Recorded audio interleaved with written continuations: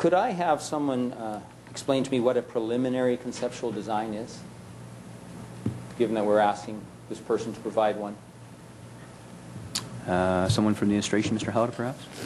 Thank you, Mr. Chairman. The, the preliminary conceptual design would basically be the floor plans for the different floors in the facility, and potentially we may get some elevation drawings, which would be some exterior uh, drawings of the design as well.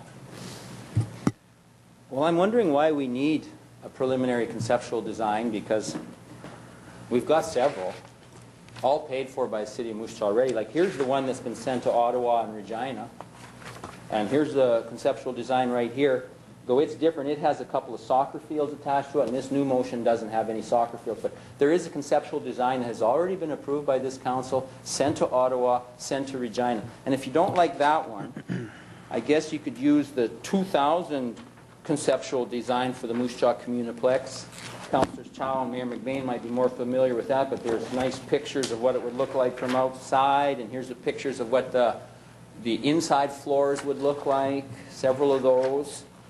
And if you're not happy with that one, there's another one called the Communiplex Development. It's got really nice floor plans and elevation drawings. And you're not happy with that one, you can always go back to the one we paid 25000 for, the new Stadia one, which I would point out, uh, November 6th, one year ago tomorrow, moved by Councillor Schwinghammer, that the City of Moose Jaw reaffirm its financial commitment of $15 million towards the construction of a multiplex facility consisting of a stadium-style hockey rink and attached curling rink at an estimated cost of $36.3 million as envisioned in the business plan dated November 2005 from New Stadia, which has really nice floor plans, really nice elevations. So I'm asking myself, why do we need another preliminary conceptual design? The problem isn't no conceptual plans. We've got lots of conceptual plan pictures. What we don't have is any fundraising because time is of the es- essence we keep hearing.